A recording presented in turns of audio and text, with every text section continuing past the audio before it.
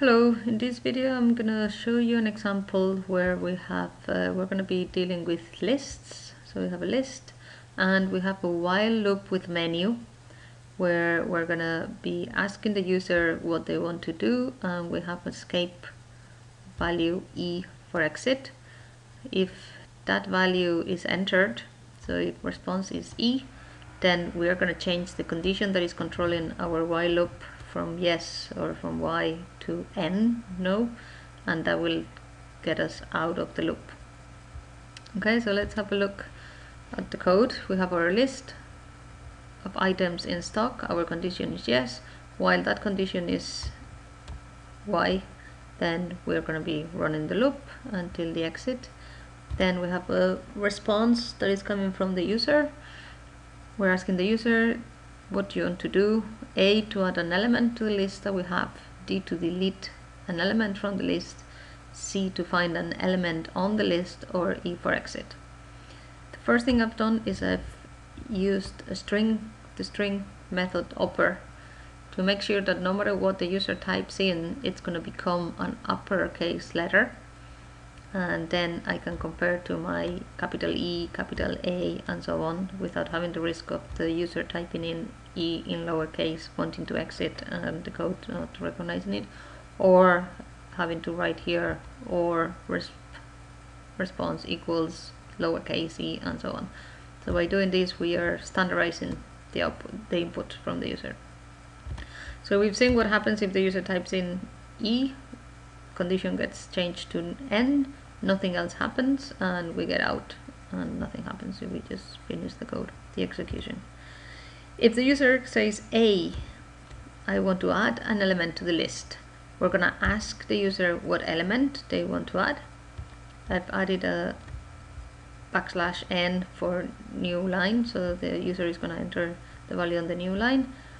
We take that element and we again use a method for just list in this case element and we're appending element into our list stock. And then we print list so we can see the effect of adding a new element.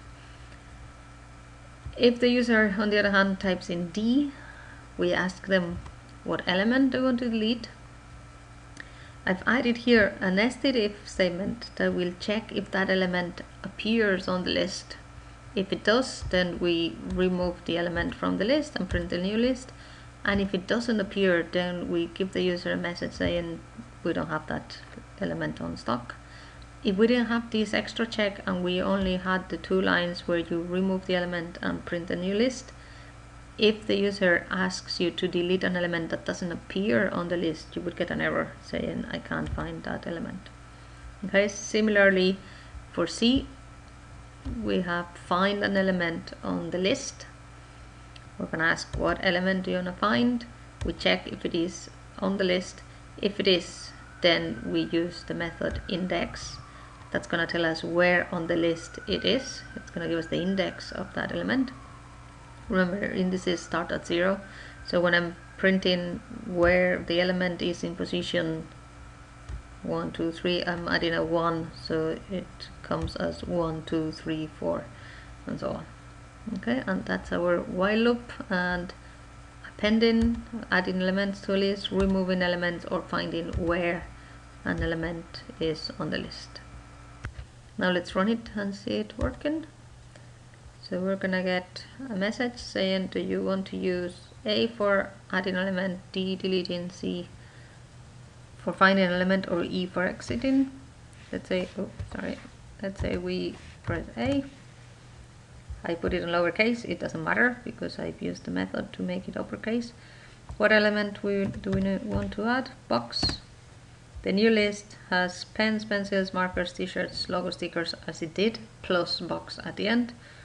And then the while loop goes back and it will ask us again delete an element what do we want to delete? Let's say we delete box. The new list goes back to what it was. Find element. Let's say we want to find pens. Element is in position 1 if we say find an element and we just type box we don't have that thing in stock so that is not part of our list and finally when I exit it stops the execution. So that's our code